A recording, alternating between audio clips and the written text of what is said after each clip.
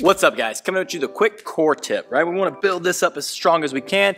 This is an awesome movement. Now, it's the hollow rock or the hollow hold, whatever you want to do with it, uh, or whatever we're doing in class. But we do it specifically to build up strength through like the pull-up positions, right, or the toes to bar position, the kipping positions, right? It's not necessarily going to build us a great six-pack. It could, but that's not our purpose. We want to build strong, hollow positions so we can be good at pull-ups, toes to bar, and any gymnastics movements that we do, right? It's very simple on how to get to it. A hollow hold.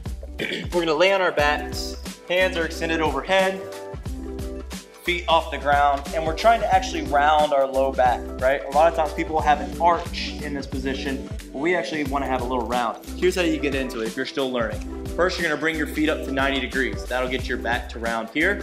Then you're gonna lift your shoulders up off the ground, trying to touch your toes. And then we're just gonna try to move our hands and our feet down until we get to the position here when we're able to get all the way down to where our feet are just barely off the ground, our arms are off the ground, that will really start to work here and be closest resemble thing of you hanging from a pull-up rig or maybe being inverted. Give that a shot.